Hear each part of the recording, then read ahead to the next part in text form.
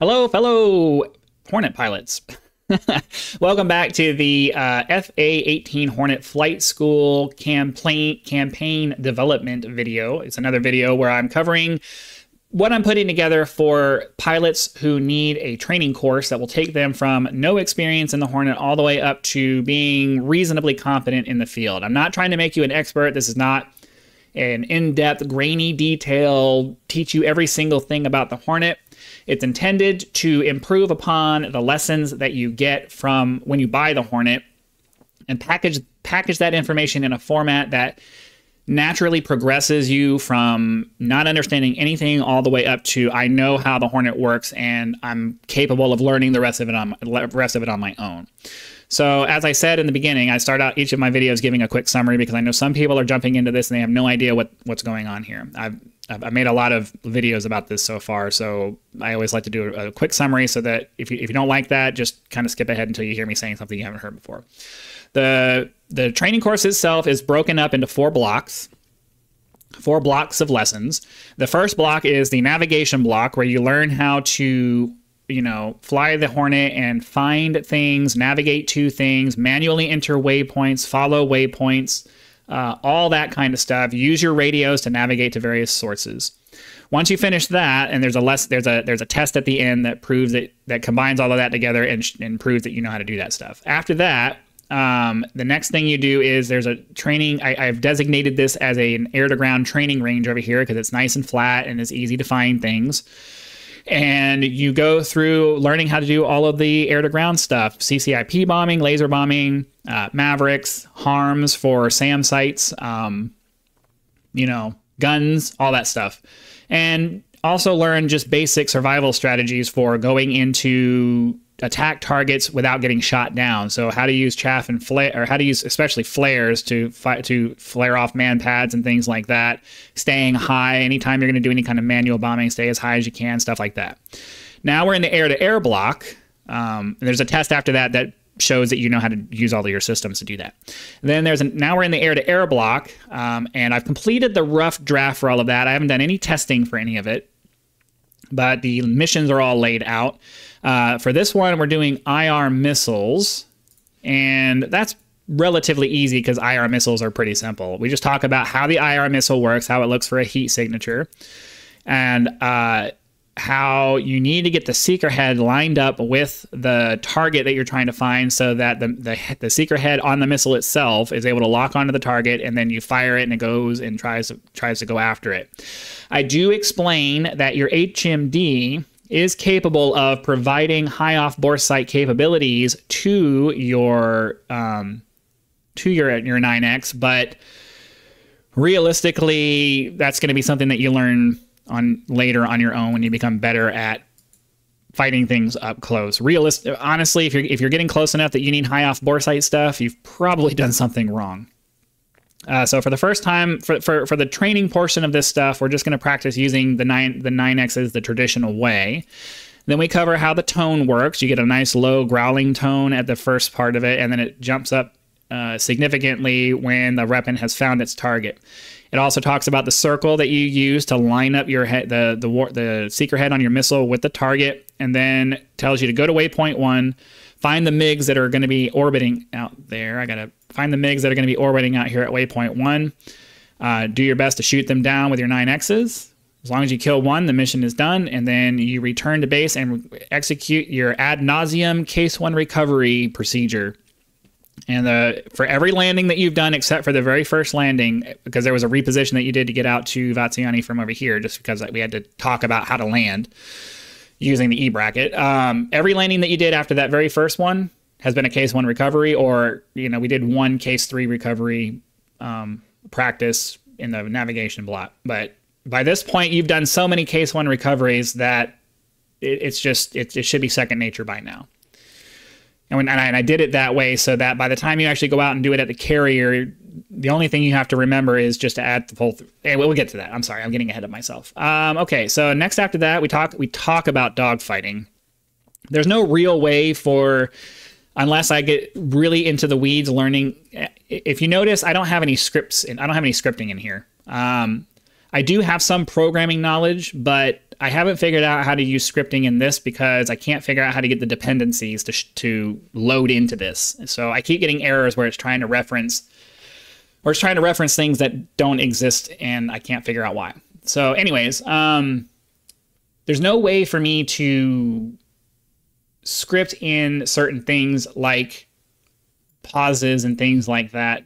So I just I kind of have to give you button presses where you just press a button when you're ready to hear the next thing. So I try to front load everything so that you have all the information by the time you get there and then hopefully you retain some of it.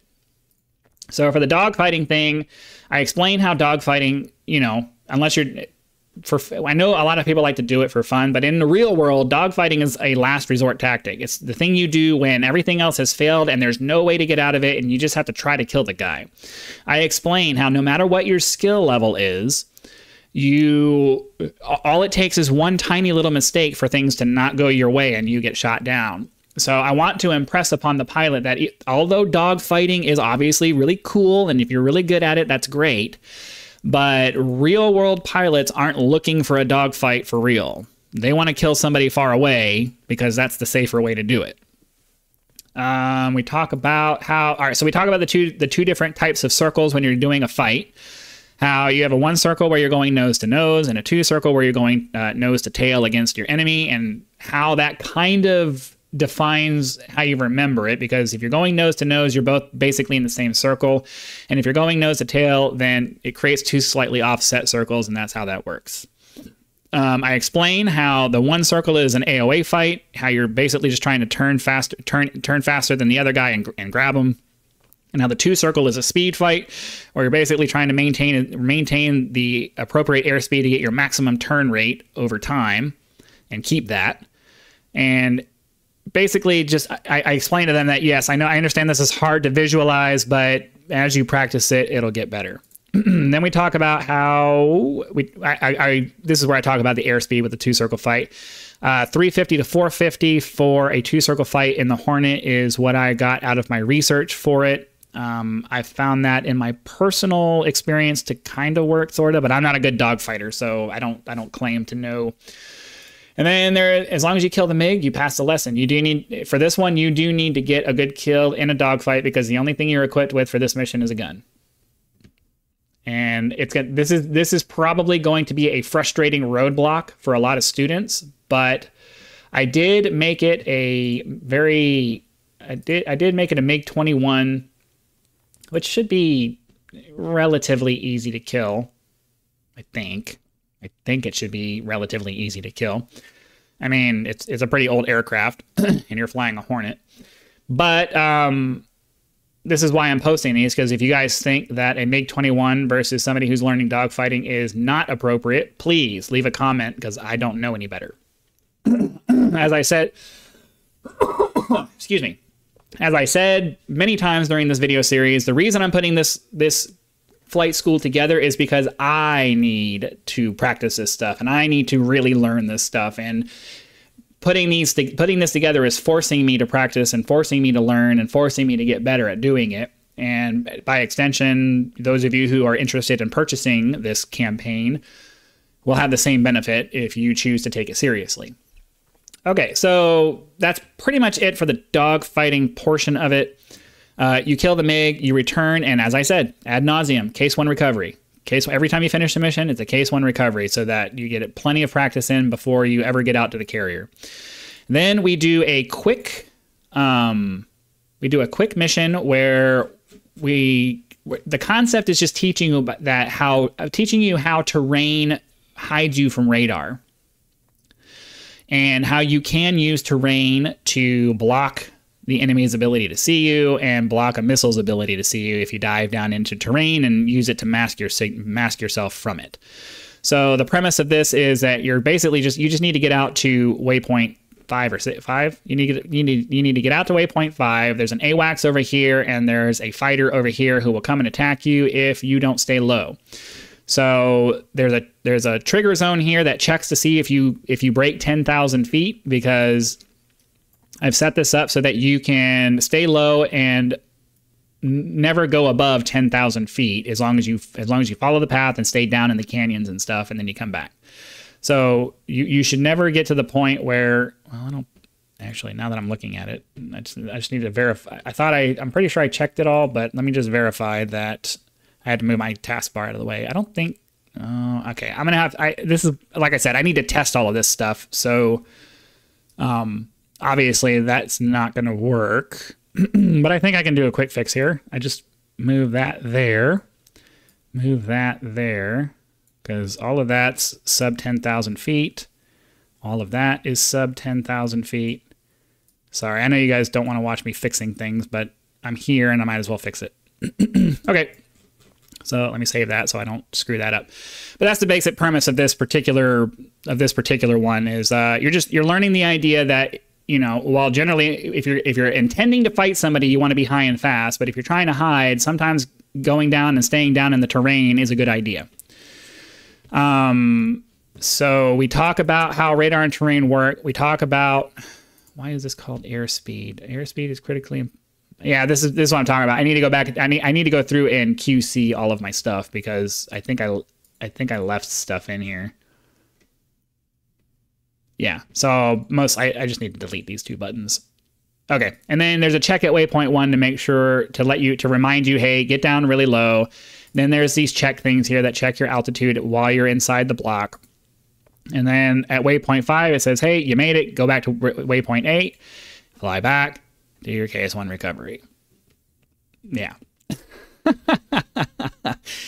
okay, and then since that was since those were pretty short, there's a practice exam and an air-to-air exam. They are both exactly the same. I made these both exactly the same because number one, controlling things is controlling the things are very difficult, and the purpose of this is not to prove that you're an expert at it is to prove that you can do it without instruction. So both of these are basically the same there is this the the the simulated situation is is that there are there's a group of frogfoots coming in trying to attack your base and actually i need to move i need to move it over here so that they go all the way in uh, there's a group of frogfoots there's a, a flight of four frogfoots over here that are flying in to try to bomb your base your task is is you need to fly out and take those guys out and prevent them from getting to you. They are being escorted by a single MiG-29. I have increased the difficulty by putting a by putting a more difficult opponent. Again, I don't know if that's appropriate or not. I just I wanted there to be some kind of difficulty progression as you got towards the end. So hopefully a MiG-29 is not too much for a relatively new person, but we'll see. Um, so ideally, the exam is you take off, you fly out here, you take out the MiG, and then once the MiG is done, you use your remaining ordnance to deal with the, uh, you use your remaining AMRAAMs, uh, 9Xs and guns to take out the Frogfoots before they are able to get over here. And as long as, as long as they're all dead by the time you're done, you can RTB. Uh, let's see. So yeah, the MiG has to die. All of the frogs have to die, and then you return and do your case one recovery ad as we have as we have ad nauseum. So that is the entire air-to-air block. Um, not really as com. Oh, why is that still there? Not really as complicated as some of the air-ground stuff because air-to-air stuff isn't complicated. It just requires you to remember some basic concepts and then actually implement them. And that's not something that you can it's not something you can instill through a training program. That's just something that you have to go out and practice a lot. so the air-to-air portion of this is not necessarily intended to make you uh, a great BVR fighter, certainly not intended to make you a good, even a good dog fighter. It's to teach you the concepts so that you can at least go out there and have a decent chance at shooting some things down as long as you remember how to use your radar, how to crank, how to use your countermeasures, how, when to go hot, when, when to go cold, all of those things. And those are covered in this lesson, and you should get something out of it. But in the end, fighting other things is just a matter of practice and you just have to you have to do it enough to get good at it unfortunately that's just kind of the way that it is um, i think that the air-to-air portion in this covers a few more things than the training sessions that you got that came when you purchased the hornet and I think it presents it in a way that's a little bit more intuitive and easy to understand. And the fact that you're not just getting dropped into a situation with no context helps you to remember all of those things. I know it does for me because the, the problem with all of the lessons that we get that come with any of the aircraft is is that they just they drop you in so that you can immediately do the thing and then you teleport out of there and you're done and there's no context there's no work up to it and you're you're just kind of like overwhelmed by all of the information that's getting thrown at you. So I don't know I just I think the presentation isn't the best. So that's my opinion. You can feel free to disagree. Uh, so yeah, that's the air-to-air portion of the program. Next up is going to be the is going to be hold on. Next up is going to be uh, the the Block Four stuff, which is all the carrier stuff. So going actually going out and landing on the carrier, practice landing on the carrier. We're going to cover aerial refueling and night ops, and I'm trying to come up with come up with a few other things to include into this block that maybe I've just either I forgot or just wasn't appropriate to include in other things because, you know, aerial refueling refueling is extremely difficult to do. I haven't even even tried that yet because it's just it's I know it's that hard. So, you know, I'm, I'm, I'm, trying to make the block four stuff all the last little bits of all difficult kinds of things. You know, doing operations at night, that's very hard for most people to do.